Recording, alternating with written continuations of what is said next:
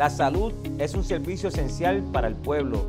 La semana pasada estuvimos junto a la Junta del Hospital Buen Samaritano inaugurando un centro radiológico especializado para todos los aguadillanos y los pueblos limítrofes. Así que seguimos trabajando por un mejor Aguadilla.